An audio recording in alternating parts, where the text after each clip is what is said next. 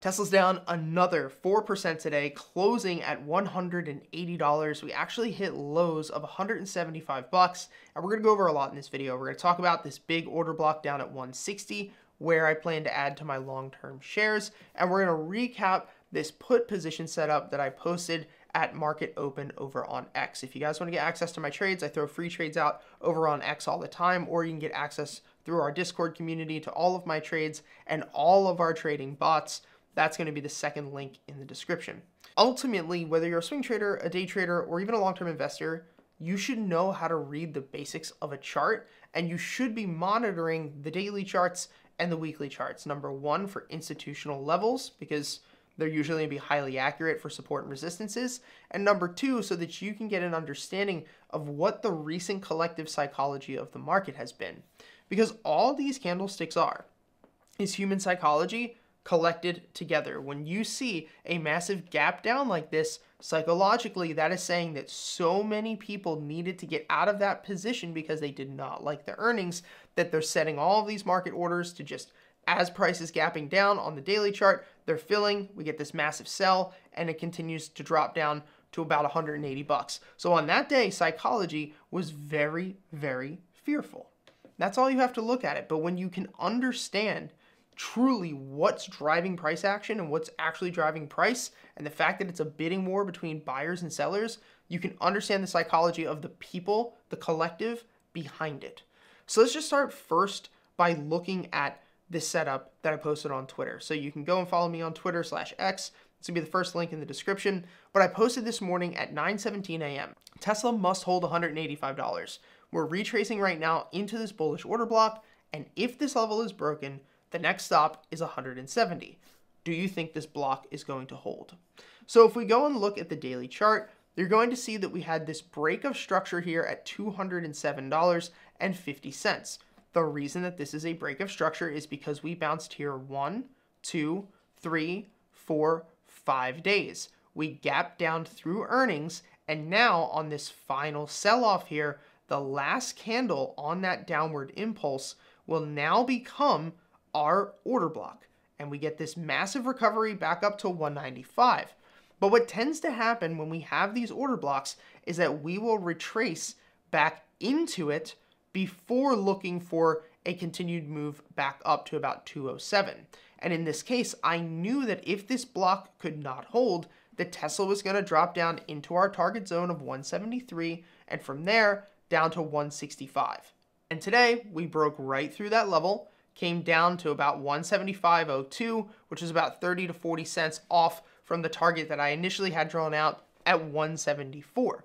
Now, this block is technically still in play, but unless we gap up tomorrow and close over 185, it seems that Tesla is probably going to continue to sell off from where we are now down to about $165 or maybe even 160 bucks. Because as we said before, when we have these order blocks, there's a very high chance that we will retrace back into those levels. And that's because all of the big buyers who wanted to get into Tesla at $160 last time, we're not talking about, you know, you and me, we're talking about institutions with hundreds of millions and billions of dollars. They don't pull the trigger the way that we pull the trigger. They're not going to just grab their phone and start making trades. They have to place massive, massive orders that have to be met with volume. And on top of that, only at highly specific price targets and price levels. This is how institutions trade and how institutions build positions. Us, on the other hand, we don't have to do that because we're trading with little money relative to what they have. So all of these orders are probably still sitting here to buy. And that's why my target for the downside is going to be around 150 at the worst down to 100 bucks. Now they have this drawn out for some reason. This is TrendSpider. They have it drawn out like that. If I were to be drawing this out, I would actually say that this order block would be right about here on this impulse because like we said before, we have this break of structure here.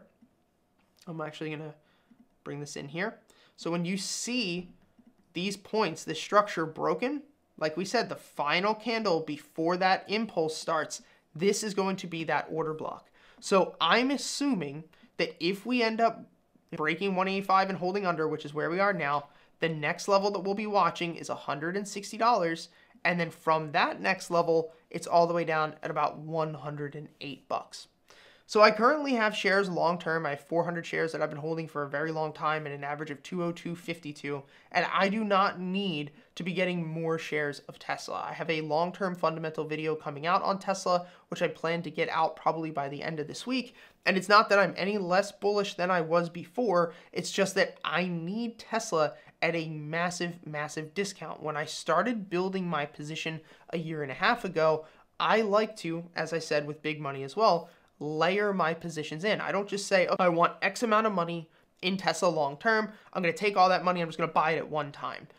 What I like to do is have layer buying. So my plan was to start around, you know, the 200 to 220 level, then continue to average down.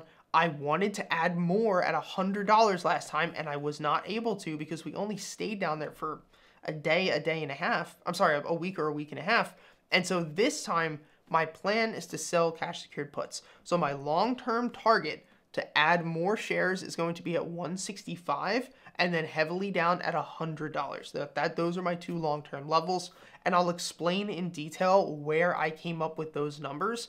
One of the reasons is because of these these actual volume level or these uh, support shelves, but the second reason is actual from fundamental reasons, which we're going to go over in that fundamental bullish thesis video that will be coming out sometime at the end of the week.